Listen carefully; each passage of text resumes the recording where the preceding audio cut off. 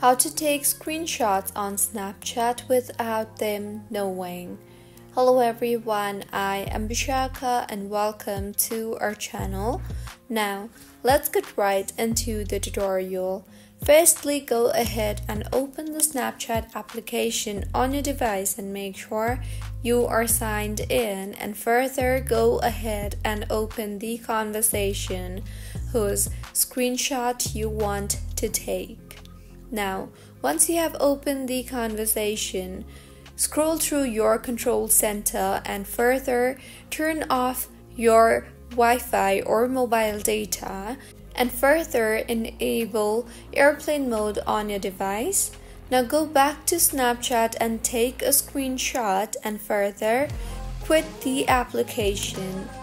You will then be required to delete the app from your device and reinstall the app again and with this, the person whose screenshot you took will not be notified.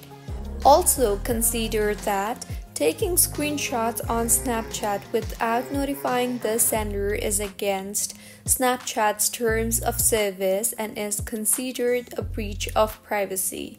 So be respectful towards whose screenshot you are taking.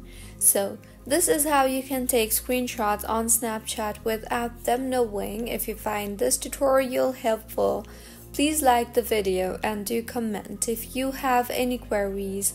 Also do subscribe to our channel for more helpful tutorials like this. See you on the next one.